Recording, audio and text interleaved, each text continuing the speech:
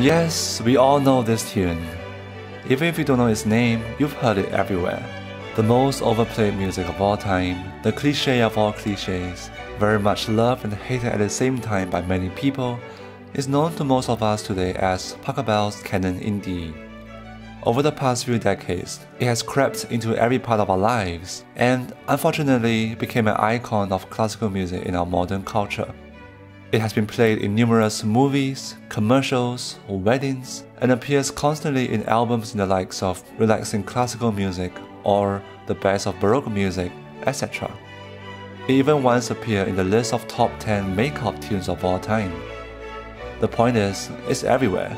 But what might surprise you is that Pachelbel's canon was pretty much unknown to the public until the late 1960s, when French conductor Jean-François Paillard released a recording that attracted much of the attention that snowballed into its immense popularity today. Other than being heard literally everywhere, another big part of its legacy lies in its chord progression, or what we commonly refer to as the Pachelbel progression. It consists of 8 chords that repeat over and over again, built upon a constant bass line, and this is how it goes.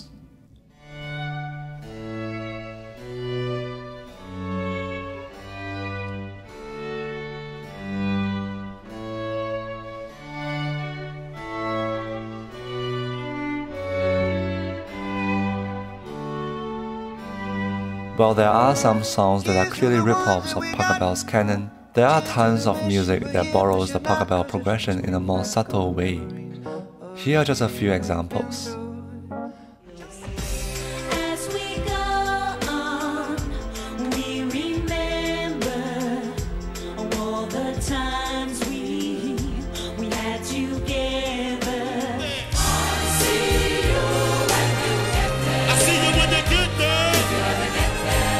It has also made its way beyond the Western world and proved to be a huge influence in Asian pop music.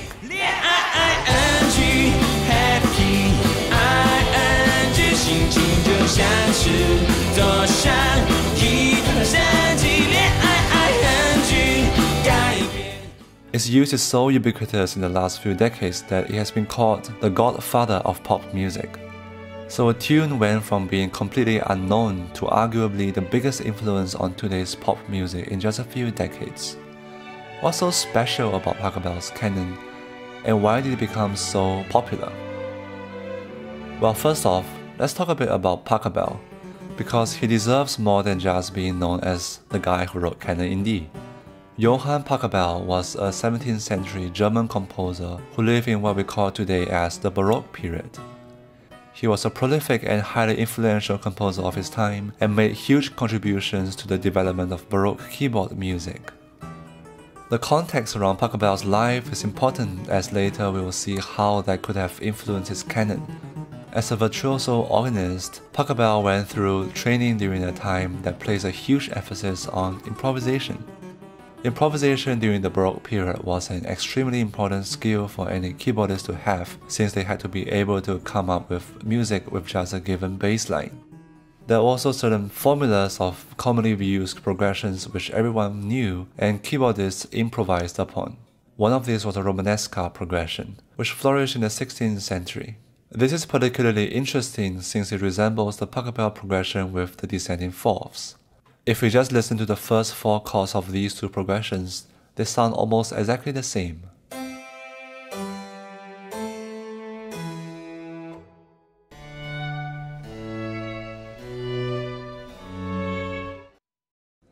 There were also many treatises on improvisation written during that time, and in one of them called The Division Viol by Christopher Simpson from 1659, there is once again a progression that very closely resembles Pachelbel's.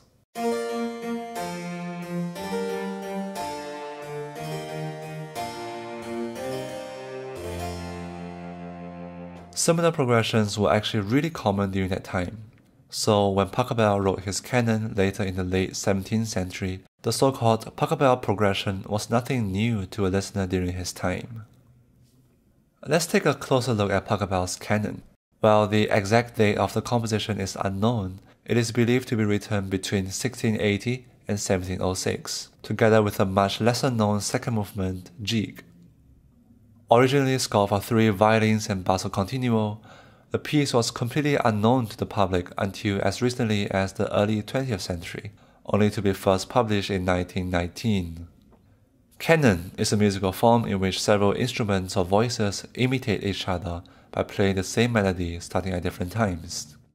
In Pachelbel's canon, the three violins have the exact same melody two bars apart from each other. What's also special in this canon, in particular, is the use of a ground bass, which is a repeated bass line that happens throughout a piece of music.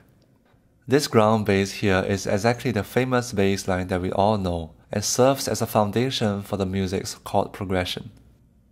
When we talk about a constant, repetitive bass line, another type of music that share a similar characteristic is, well, pop music. The very reason why the Pachelbel progression got quickly embraced by our pop culture is that it's something relatable and familiar to all of us.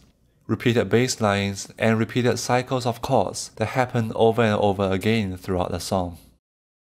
Now, before Pachelbel's canon got published and was made known to the public, other composers also used the exact same progression, including Beethoven in his Sonata No. 30 in the first movement.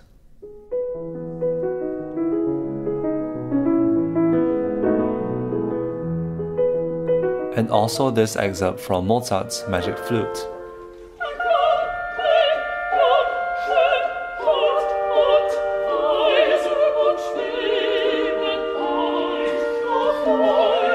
So it is clear that the Pachelbel progression is not owned by Pachelbel, but also used by many other composers independently throughout history. Over the years, its versatility has given itself a timeless quality as something that is able to be easily adapted into vastly different styles of music. So, what's so attractive about this progression that composers including Pachelbel so frequently use it in their music? Previously, we talked about how during the Baroque period, people often improvise on repeated bass lines. What made this particular progression stand out is the use of what we call a sequence. In musical terms, a sequence is a restatement of a melodic or harmonic idea that is higher or lower as compared to the original idea. A good example would be these few bars of Do Re Mi from Sound of Music, where there is an ascending sequence since the music goes up every time it gets repeated. So, a needle pulling thread, La, a note to follow, so, Tea, a drink with jam and bread. Similarly, we see a series of sequences in the Pachelbel progression, since the music goes down every time it's repeated. In this case, it is, therefore, a descending sequence.